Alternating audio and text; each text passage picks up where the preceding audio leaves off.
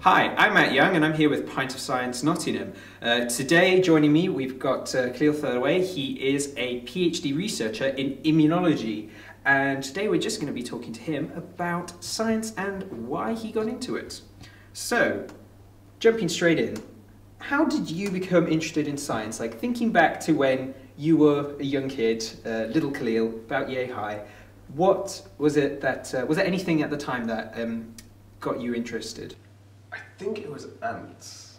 If I if, I think back to my earliest memory of wondering like what was going on with something, I think it was watching ants scurrying around and being like, where do they go? Like, how do they talk to each other? Like, you know, because you know they, they wander around and they follow trails and they pick up food. And I, I remember as a kid, I would just like in the summer, I'd just sit and watch the ants and follow them around, and try and follow them back to their nest, but then I'd always lose them somewhere. So it was a, it's a sense of like childhood curiosity you think that got you going? Yeah, and I think that's you know what gets a lot of people into science is you know there's that, there's that stereotype that scientists are really just children who didn't grow up. You know that a lot of people when they grow up they lose that curiosity. But I think as, as nerds we just gain, we, we gained even more curiosity. We're like, oh, I, I want to follow not only follow the the uh, ants to their nest, but you know I want to go inside the nest and see what their stru- uh, social structure is like and what chemical messengers they use. And you know, as we get more into our scientific career, you know, get to answer those cooler questions. Excellent. Yeah, that's. Uh, I think it's a really good way of putting it. That uh, we're the nerds who uh, don't really lose our curiosity, um, but arguably not many people do. They just don't just don't apply it. Um, but when you were, say, like coming towards like the end of school and you were going to go to university, what um, made you decide? Yes, I'm going to go do science, uh, a science subject. Did you always want to go into one particular field, or was it more of um, was there something else that swayed you towards it? Well, within within science, I was always definitely a biologist. Um, I, I was good at and I enjoyed the questions in physics and chemistry and finding out finding out kind of you know how, what light was and you know how molecules stayed together and stuff. But what you know what really fascinated me was life because if you if you look around us, we we think we're so great inventing cars and computers and light bulbs, but we still haven't invented you know stuff that is as complex as, for example. Uh, the chemical processing in uh, the metabolism of an animal, or the data processing in a you know, mammalian brain or something. So I, it just felt like I wanted to see how nature had managed to do it so much better than us. okay, so um, did you have any um, role, role, models as such in science? Is there any people, people who you identified when you were younger um, as being involved in science? Has that in inspired you to go further into it, or was there not really anyone in pop culture that you could that you were aware of? I mean, I grew up in Britain, so Attenborough was a big part of my childhood. It still is a big part of my life. Um, but then, you know, in terms of actual research, I think when I was young, I didn't I didn't really know that much about the world of research. Arguably, I still don't. And so, I think that I was mainly drawn towards the science and then I went into research as a means to, to, get deeper into science. When I was a small kid, I didn't really, yeah, didn't really have any kind of reference of researchers. Did you have any uh, sort of preconceptions or ideas of what a scientist was like, or what work as a scientist would be like? Yes, I thought it would be a lot easier than it is. Did you think it would be all sort of white lab coats pouring different coloured chemicals into different things all day, or was a little bit more complex than that? Uh, well, I, at various stages in my life, of, of, I guess I've had different preconceptions of what a scientist's life is like. Um, I think as a kid it was definitely that, or it was, um, you know, uh, sticking a squid in a maze and giving it a prod and seeing what it would do. Uh, but then even before starting my PhD, I think that I thought that the, the life was going to be more kind of uh, musing big questions and doing experiments about those big questions rather than the actual day-to-day grind of being a scientist is dealing with the minutiae and taking tiny little baby steps. And it, it, sometimes you, you have to get used to the kind of scaling your expectations back from, you know, oh, I'm going to change the world in a, in a year, to being like, okay, no, I'm going to incrementally find out little layers of information and build those eventually into what might be a big story. So I think patience is something that I had to learn. Patience.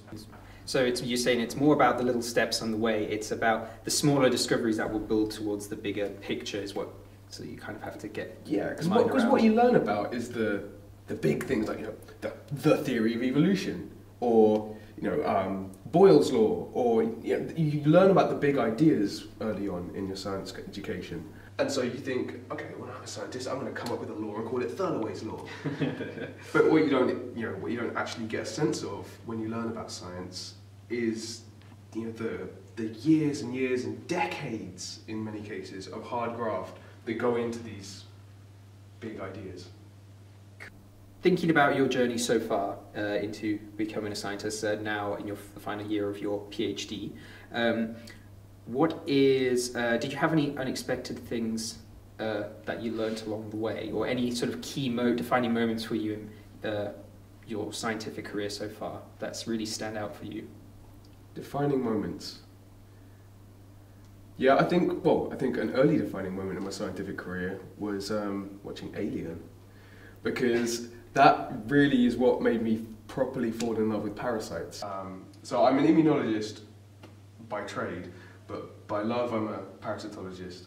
Um, and I really like, especially within immunology, how parasites and the immune system interact. But yeah, I think watching Alien, because it had that complex life cycle with all the different stages and you know, it had the egg and the larva and it, in, inside the, the host. So that was an initial, it sounds weird, but it's an initial uh, pivotal moment. Another was in undergrad, I had a really good uh, supervisor for my literature project called Mark Viney, and he was a parasitologist. Um, but he really helped me kind of on my road towards a PhD. Within my PhD, I would say that, yeah, probably about halfway through my PhD, when I started getting really scared that, you know, I hadn't achieved, you know, half of a PhD's worth of work. Um, but actually, when I thought about it, you realise that the PhD is a training process. You're learning to be a scientist. And so you're not expected to just instantly be amazing as soon as you start.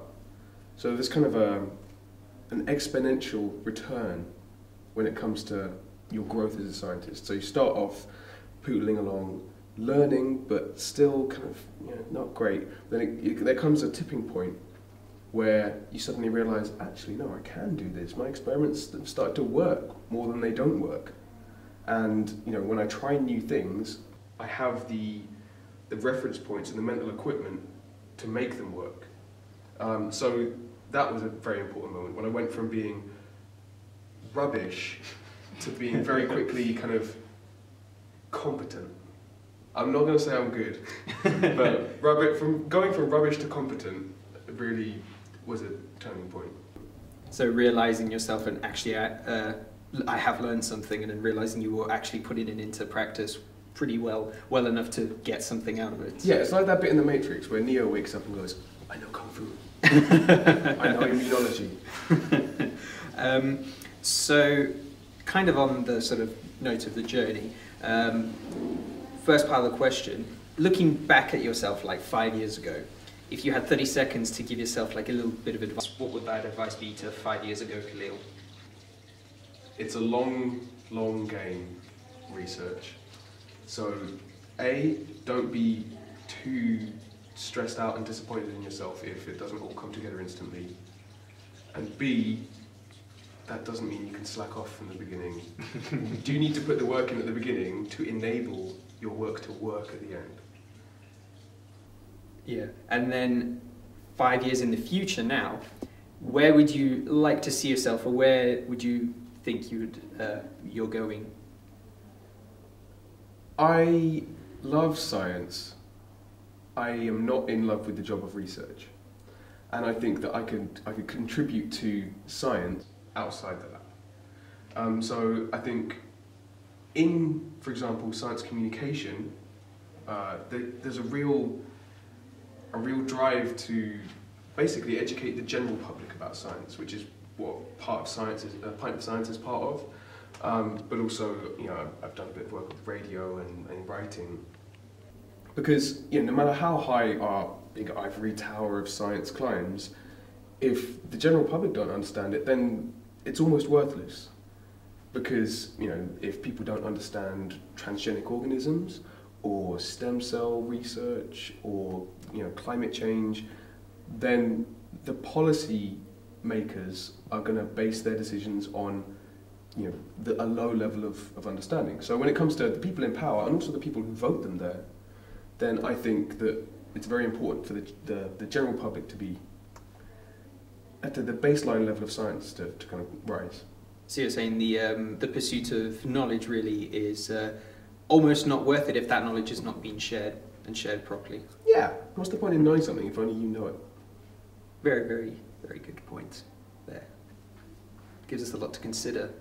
Um, so, what I want to ask you next um, was that if you weren't a scientist now, so say, um, given your current your interests and everything, if you couldn't be a scientist, what other job would you be doing, or do you think you would have gone into? If we're going probability-wise, I probably would have been. I probably would have ended up a saxophonist um, because I, I played the saxophone and at school, my teacher was.